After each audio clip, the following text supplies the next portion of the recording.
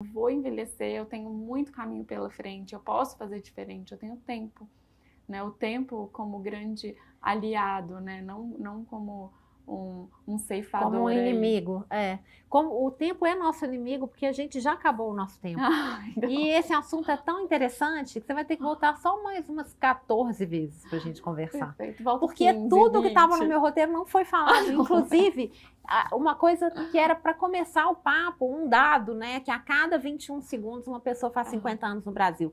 Fica com isso. Dorme com essa, tá? Querida, Amei. muito bom. Muito Acabamos, bom, gente. querida. Parece que foi isso aí. Parece que foi isso.